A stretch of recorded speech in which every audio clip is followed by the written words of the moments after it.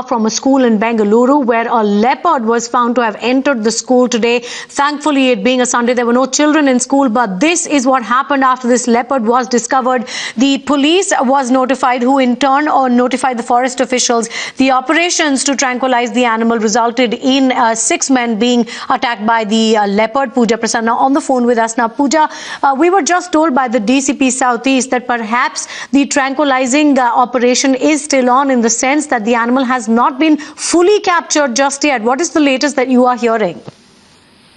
Um, as you heard it, uh, you know, the uh, uh, animal has been tranquilized, but they're still making sure that it is completely uh, asleep before they start with the next uh, procedure of capturing it and caging it before they take it away from that particular high school. We understand that three people have been injured, out of which two, one of them is a is a camera person working with the local television channel.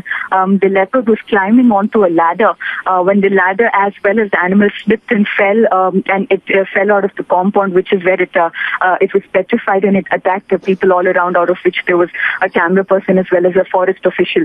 Um, the, the, injured are being treated in a hospital close by, even as uh, the forest officials are now treading with caution, ensuring that the animal is completely tranquilized before they start the next procedure. Back